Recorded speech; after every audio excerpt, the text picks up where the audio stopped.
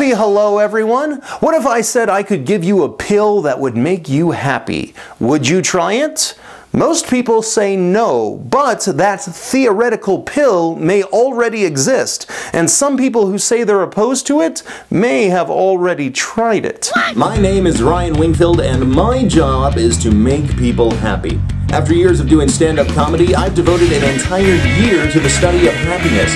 Join me each week right here on a Road Comics Road to Happiness. Happiness is a fickle thing to define. For some people, it's a sense of well-being or living a meaningful life. But for some scientists, it is simply a neurological response to external stimuli which floods your brain with neurotransmitters that create a sense of well-being. It's like a poem written by a robot. Still, that kind of thinking is what likely spawned this popular cartoon meme, serotonin and dopamine. Technically, the only two things you enjoy. As we've discussed in this web series, serotonin and dopamine are the neurotransmitters that your brain produces, which creates a sense of well-being. It makes sense that if you could stimulate this neurochemistry with a drug, you could create a feeling of happiness, quite literally a happy pill. It turns out not only does this drug exist, but it was created over 100 years ago. So why haven't you heard of it? Well, odds are you have. Huh? The pharmaceutical company Merck invented the drug in 1914 as a catalyst for creating other chemicals. Eventually, it began being used for psychological healing. The drug is called methylene dioxymethamphetamine, also known as MDMA, but you probably know it by its street name, ecstasy. Before we go any further, I am not suggesting that you experiment with ecstasy. I myself have never tried it, nor have I felt inclined to. But maybe that's just because I'm high on life. All joking aside, though, there does seem to be evidence that MDMA has benefits other than a party drug. Essentially, it causes your brain to flood itself with dopamine and serotonin, creating feelings of empathy, giddiness, and talkativeness. In the 70s, it was even prescribed to patients of trauma. However, by the 1980s, it had turned into the party drug ecstasy, and in 1985 was outlawed in the United States, in part on the belief that it caused irreversible damage to the brain. Today, Today, the harmful effects are not believed to be as serious, and it is even being considered as a possible treatment for post-traumatic stress disorder. That being said, let's face it, most of the people who are using it are dancing with glow sticks.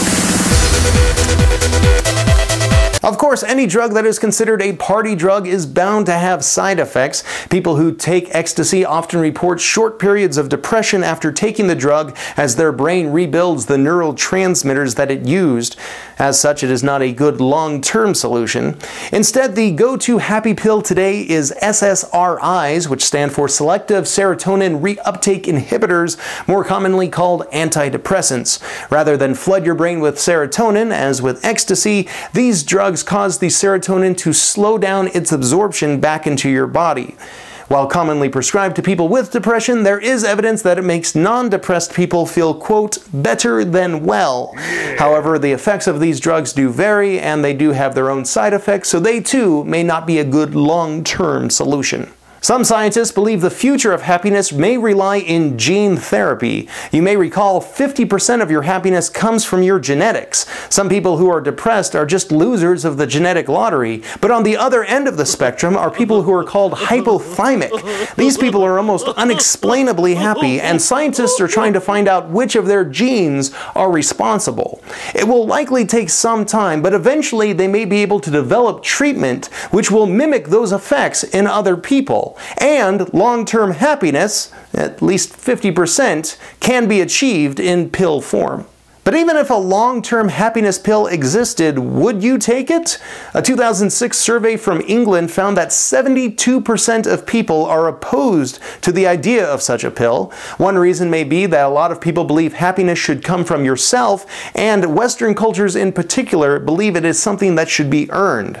Much like an athlete who takes steroids to win, people who take a happiness pill seem to be cheating somehow.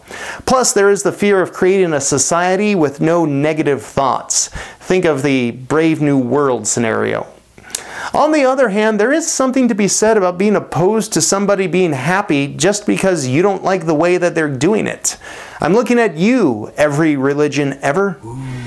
That's all for this edition of a Road Comics Road to Happiness. Thank you so much for watching. Please don't forget to subscribe and leave any happy comments below. Next week, happiness at the misfortune of others. The Germans call it Schadenfreude. Here in the United States, we call it comedy and reality TV. Until then, stay happy.